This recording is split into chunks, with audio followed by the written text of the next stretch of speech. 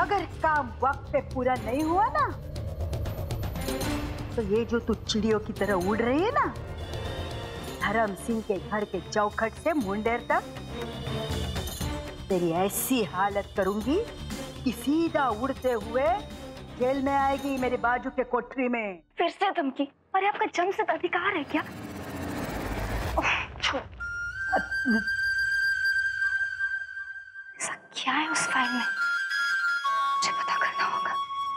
तेजस्विनी दीदी। अब देखो मैं क्या करती तेजस्विनी देखो मैं समझ सकता हूँ तुम्हें अभी थोड़ा वक्त चाहिए।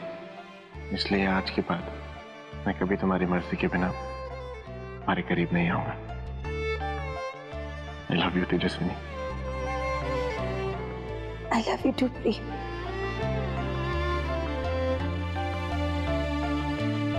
मुझे माफ़ कर देना प्रेम।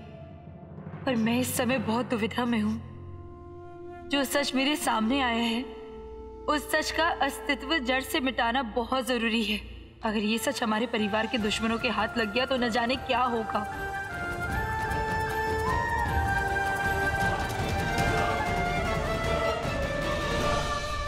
आज मेरे मन को इतनी शांति मिली है।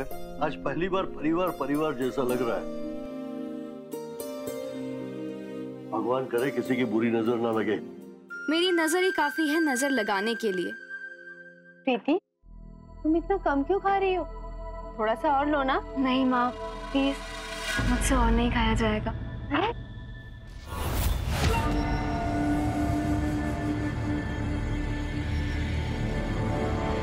परिवार में बड़ी सुख शांति दिख रही है। दीदी लगता है उस फ़ाइल के बारे में बताया नहीं आपने अभी तक किसी को।